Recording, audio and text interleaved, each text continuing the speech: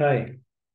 In today's video, we are going to discuss about uh, what are the different uh, methods we use in Java usually. So there are different type of uh, methods which normally we use in Java.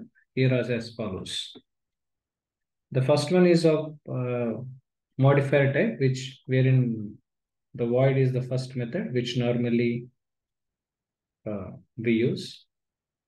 This void method majorly the description where we need to add the property changes when there is any kind of changes in reference to the properties we want to make.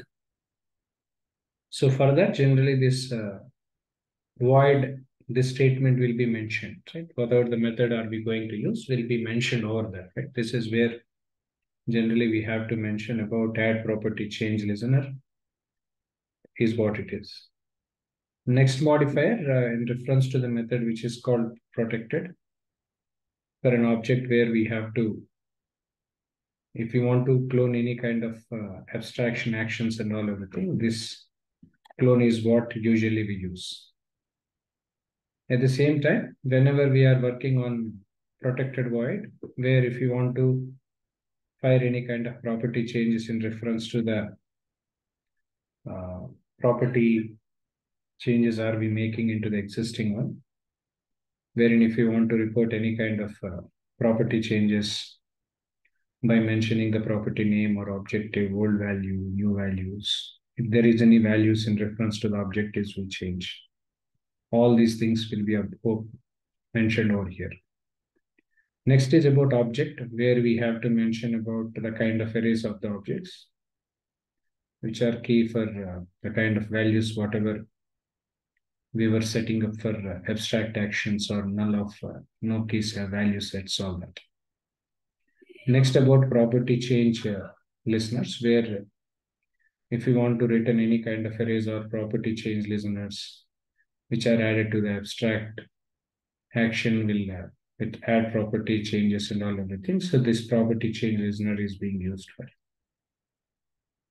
Followed by this, when we are going for object where we need to mention about the kind of objects what are associated with a specific key. So this get value string keys, all that will be used. Next one is called Boolean. So where uh, whenever we want to return if the actions were enabled and all, so keys enabled, all that. So this Boolean will be used for. In reference to the void, where we want to set any kind of values which are associated for a specific key, whatever are we going to use. So further put value string key followed by object new value will be used here. So one more void can be used, which can be used to remove a change listener from the listener list. So for that, uh, because the one, what is that we have uh, used in the beginning void in reference to the property change listeners will be for addition purpose.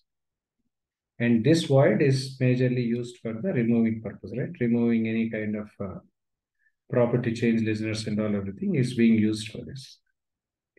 Next void will be used to set up any kind of actions which are which are to be enabled or set enabled and all everything. So these actions will be used here. So these are the list of methods in reference to the Java, which normally we use.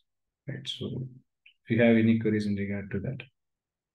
If you have any questions, please reach out to the contact details, which will be posted below to this video. Thank you.